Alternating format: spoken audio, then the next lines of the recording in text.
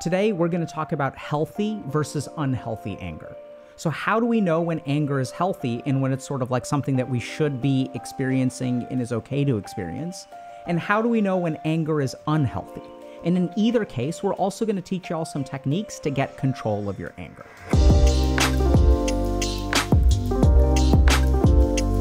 So, anger is an incredibly tricky emotion because, first of all, it causes us to lose control, right? When we get angry, we tend to do things that we will regret later. We tend to damage relationships, maybe shoot ourselves in the foot in terms of like work or school or things like that. The anger gets control of us, and then we end up doing things that we regret. The other reason that anger is such a problem is because we know that anger causes people to do things that they regret. And so then what we do as a society is we tend to demonize anger, right? When people are publicly pissed off or they express their anger in some way, we all retreat from anger. So as a whole, we tend to demonize the emotion of anger. And so we all sort of think about okay, like there's some emotions that are good emotions, right? Like joy and peace and tranquility and love and compassion and curiosity. All of these things are good emotions. And then there are the bad emotions like anger and sadness and guilt and shame. And what we try to do is cultivate lives where we experience a lot of the good emotions and try to minimize the experience of the negative emotions. And anger is one that is particularly like difficult to deal with because anger is the one that is oftentimes like harmful to other people. And so since we demonize anger, it's really hard to figure out like okay, like how do I know when it's okay to feel angry? When is it okay to feel angry? What should I do if I'm feeling angry? Is this something that will hurt other people or is this like an appropriate healthy uh, emotion that I should be experiencing?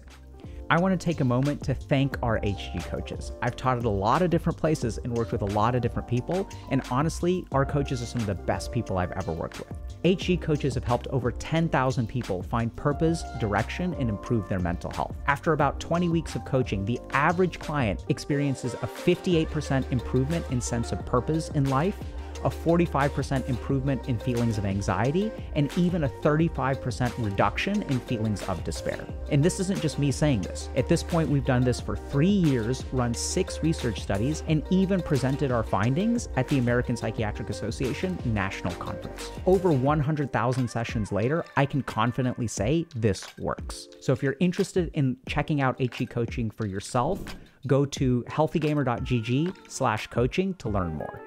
So let's start by looking at healthy anger. And let's start by also looking at why we get angry in the first place. So we have to understand that anger is like a conserved emotion, not just in human beings, but across like animals as well, right? So anger isn't a bug, it's a feature. Our brains are all designed with the capacity for anger. And in fact, we even look at things like developmental psychology where there are kids who are in their who are two years old. And in the US, we'll talk about the terrible twos, which is when kids start to get really like angry. This is when children are literally developmentally learning the capacity for anger. And so anger is like absolutely a healthy part of our brain. And let's understand what it's there for. So anger is there to protect our territory. So if you think a little bit about like let's look at the animal kingdom, right? When do animals get angry? Like if one animal has like let's say I'm I'm a tiger and I've like hunted something, like I've hunted a deer and then I'm eating my deer. And if someone else uh, another animal tries to take that deer away from me, as a tiger, I'm going to get angry. You will see anger in the tiger. You'll see sort of this territorial defense. And that's what tends to happen in the animal kingdom, right? Anytime the territory of an animal is violated, the response is anger. So anger is a defensive and protective emotion.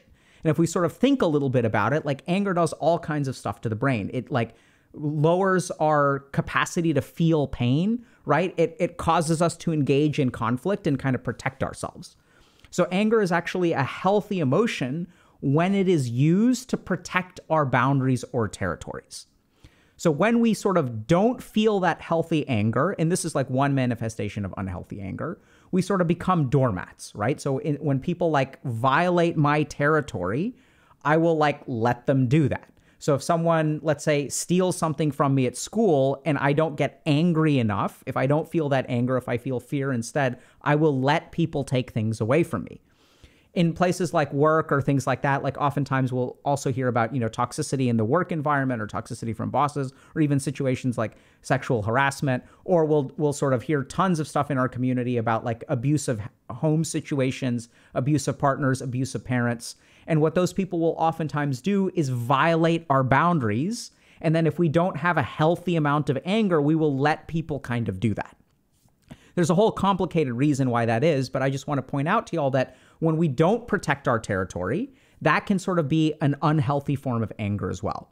And so ideally what we want to do with anger is anger is a signal from our brain, our body that hey, this is mine and you don't get to take this away from me.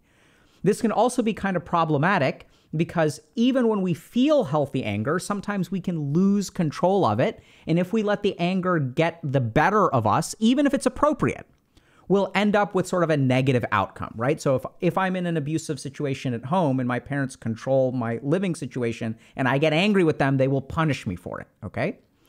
So the first thing to understand is that anger is healthy and generally speaking when your territory or your boundaries are violated, anger is actually a healthy and normal response. We still want to be able to control it, but this is like an appropriate expression of anger. So what is inappropriate anger? So inappropriate anger tends to come from thwarted expectations, comes from a sense of deservingness or entitlement. So if we kind of think about it, how does a thwarted expectation activate our territory circuitry in the brain? Right? So think about it for a second. Like, okay, what does an expectation have to do with this is territorial protection circuitry. So if we really look at expectations, what an expectation is is it's something that it's a territory that we've claimed that we don't really own. That's really what an expectation is, right? It's this idea that, hey, this thing is going to happen. This thing is mine. I deserve this, but then I don't get it, which means that I end up getting angry. So let's just run through a couple of examples. So let's say that I like a girl. And if I like a girl or a guy, whatever, right, I will invest a lot into the relationship. So I'll get this person flowers, I'll call them all the time, I'll be an emotional support, we'll hang out when we go out to dinner, I will pay for them. And so we sort of think about this like, I like this person, I'm interested in this person, but the more that I invest in the, uh, the relationship, the more I start to form a territorial wall around this person. This is my territory. I'm expanding into this, this space, and this person owes me. And then if this person starts dating someone else or doesn't return my texts or things like that, I get incredibly angry, right? Other examples of this that I've seen a ton, we see this a lot in our career coaching program, for example, is people who work really hard and then are really upset that they don't get recognized or they, they don't get the promotion that they believe that they deserve. So this is another example of I'm going to invest a lot of energy and then I expect a return. And when I expect a return and I don't get it, I end up getting really, really pissed off. We also see this in our community with people like gamers, right? And if you play video games, you know what this is like because when I queue up for a particular video game and I have teammates and I'm having a really good game and someone else throws the game, I tilt really hard. And what is that? What is tilt? It's a thwarted expectation. I did not deserve to lose this game. I should have won this game because I was playing really well and this person didn't do what they were supposed to do. So I'm going to get really, really, really pissed off about it. So if we look at what is the nature of unhealthy anger, it is thwarted expectation. It is when we claim territory, right? So I've claimed that this is a win. I should be winning here. This person should love me by now. I should get this promotion. These are things that I should have and that I am entitled or owed to owed. And so when we thwart that expectation, when that expectation gets thwarted, we lose this territory that we believe we owned. And then we get really, really pissed off. So now the question kind of becomes okay, how do we deal with that, right? So, first of all, how do we tell if this is really my territory or it's not my territory? And in either case, if I get upset, how should I deal with that? So, let's understand a little bit about the physiology of anger. So when we get angry and we get kind of, kind of get this territorial violation, right? Whether it's truly our territory or not, which we'll get to, our body engages in a whole physiologic response. So we activate something called the sympathetic nervous system. So this is the part of our, our body that basically protects us, causes us to engage in, in battles. So it sort of activates our fight or flight response. And in either case, even if we're running away from things, we still need our body to be very, very focused and, and have a ton of energy, right? So when we get angry, we activate this part of our nervous system that prepares us for action. And the sympathetic nervous system does all kinds of other things cognitively. So it causes us to like be like really, really one pointed. So it becomes really hard to think about other things. It causes us to see things in black and white. So we don't really like consider all these other things that may be relevant. Like, let's say I'm playing a video game, and even if I played well, maybe, you know, the reason that I'm having a good game is because my team has been making sacrifices for my sake, and they haven't been making those sacrifices for my teammates' sake, and that's why they're feeding. So there's all kinds of things that we don't keep track of when our sympathetic nervous system is active. We sort of get this tunnel vision and we see in terms of black and white.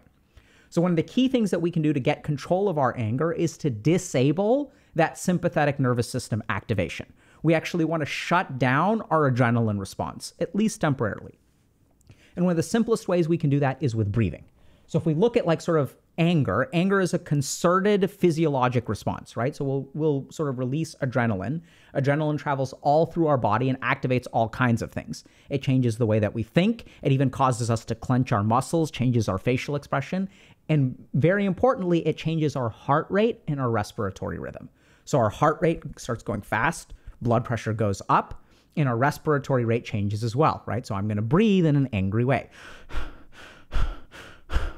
That is the, the pattern of angry breathing. So, what can we do? So, this is what's really interesting. If we change our pattern of breathing, it will actually deactivate our sympathetic nervous system. So, if you look at the angry pattern of breathing, it's rapid inhalation, deep, and rapid exhalation, right?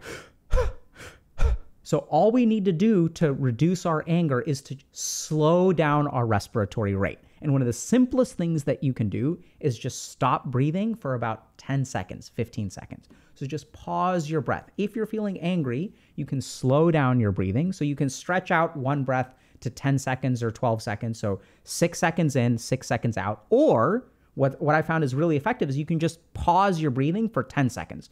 So hold your breath and count to 10 and then breathe slowly. Okay, so that's one thing you can do. It'll literally change your physiology. Your mind will become a little bit less like kind of uh, tunnel vision. You'll be able to like calm down and relax a little bit.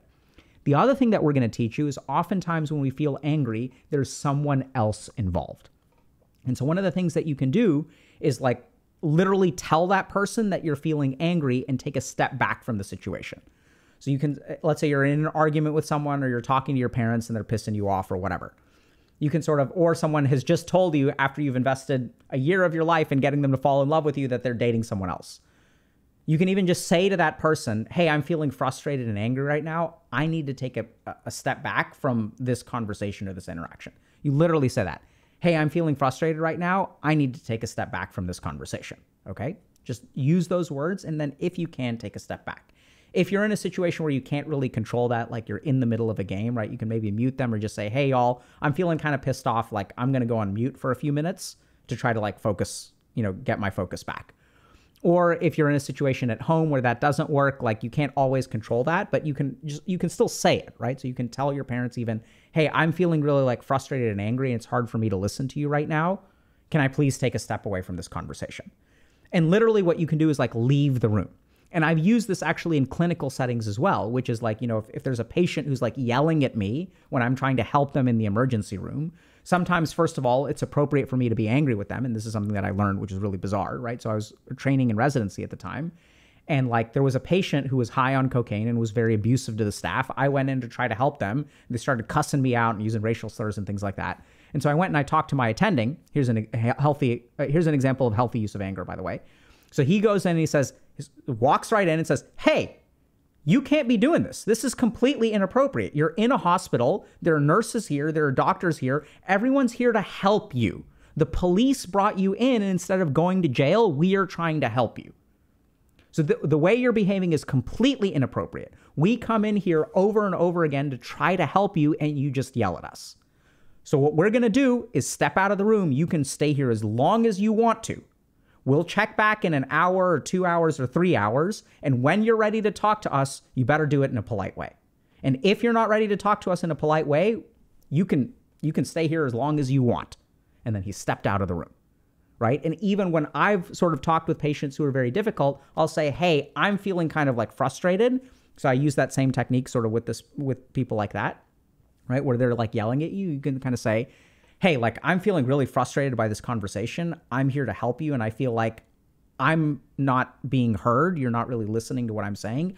I can also see that you're feeling frustrated and that people around here don't seem to be listening to what you're saying. So I need to take a step away from this because you deserve to be listened to. I'll be back in 15 minutes. I hope we can c- continue the conversation then. Right? And then you just step out. So acknowledge your feeling of frustration or anger. And unless you're in a real heavy power dynamic kind of situation, step out of the conversation and just give yourself the opportunity to calm down. So that those are two things that you can do in the moment to get control of your anger. The next thing that we have to talk a little bit about is the origins of unhealthy anger. So if I have these thwarted expectations, if I really want to fix that, it's not just about managing the anger in the moment. It's about why am I getting into these situations in the first place?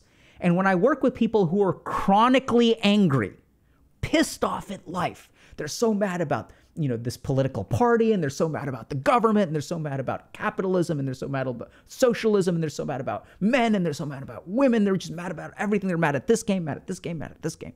What's going on with those people who are chronically angry? These people have inappropriate expectations. So this is what, what's really tricky is when we get angry oftentimes the mindset that we'll have is i deserve this right and since i didn't get something that i deserve I deserve to be angry, and the angry anger is justified. But if you really want to get control over anger, it's not about what you deserve, it's about what you expect. So there are all kinds of people who deserve all kinds of things, but that doesn't necessarily make them angry. The anger, so and this is where like I work with people who are, you know, 15 years old and have been diagnosed with cancer. Some of them will get really angry, but some of them won't. And they'll say, I don't deserve this. It makes me sad. It's unfortunate, but I'm not going to get pissed and tilt about it. How do I move forward? So even in those situations, stuff happens all the time to people that they don't deserve, but they don't necessarily get angry about it, right? It's okay to feel some amount of anger. But the, the key thing is if you want to stop being angry, like all the time, what you really need to focus on is not what you deserve, but how did you come to expect this? And as we recognize that, we will start to get a lot of long term control over our anger. So pay attention to, instead of asking yourself, what do I deserve? Ask yourself, why did I expect this to happen? Right. And that's where a lot of really, really like healing stuff starts to happen. That's where you start to get a lot of insight into your own behavior, into the behavior of others. Why did I expect that this person would date me? Because each time I gave them something, I wanted something in return, but I never actually let them know, right? I never actually went out and asked them, why did I expect to be promoted? There are four people who are up for promotion. Why did I believe I was entitled to this? It's because I worked really hard. Well, the other three people may have worked really hard too, right? But what why did I think I expect it? So this is where you really have to tunnel down into why you expect this in the first place. And this is what we try to really help people with, especially in things like career coaching, is understand that what you expect and what you do are two separate things. And there's a beautiful way to kind of think about this, which is that what we sort of encourage people to do is focus on the actions, but don't expect a particular outcome. So if you're working really hard towards something, don't do it in the expectation that you're going to get something back. So if you have a friend that you're attracted to, or if you have a friend, if you want to support them, you should support them because you think that's the right kind of thing to do, not because you want to be owed something in return. And similarly at work, that's the kind of situation. I know this is like kind of weird and may even be counterintuitive, but if you want to go the extra mile, go the extra mile because you want to learn something or because you want to help the company. And if they fail to recognize that, that's on them. So, this is really important that if we really want to get to the origins of that unhealthy anger, it comes from our expectations and specifically from our somewhat inappropriate expectations. Because in this world, we can't control what other people do. And the whole point of unhealthy anger is we are expecting someone else to do something. We are taking territory over someone else's behavior. And when they don't behave the way that they're supposed to, they're feeding, they're not going out with me, they decided to promote someone else, we get pissed. But this is the key thing. We can't actually control that, right? We can't make anyone fall in love with me. I don't get to determine every time I queue up who's on my team. right? I don't get to determine what my who my boss picks to promote. All I can control is my actions. And so that's what you should really focus on. And so try to figure out okay, where did I start to expect this? Why did I expect this? How did this expectation build up? And as you go through that process, what you'll start to discover is that some of the expectations you have in life are a little bit inappropriate. And as you start to adjust your expectations, now this has nothing to do with what you deserve or how much effort you put in. This is what's also a little bit tricky. It's like I can I can work really hard and try to do a good job and still not expect that something goes my way. This is also something just to give you all an example of like the nuance of this. So as a doctor, right, I can go to work and I can do a really good job and I can try my hardest, but I can't necessarily save a life. And that's what's so tricky is that when we work really hard, we think, oh, I deserve to save this life or I did everything that they could. Why isn't this person living? It's just not how it works. So medicine teaches you how to walk that tightrope really well, which is that in this life, all you can do is like control your actions, but you can't control how anyone else responds. And the really beautiful thing about this is as you start to really focus on what you're doing instead of expecting other people to behave in alignment with what you want, it actually frees up a ton of brain space.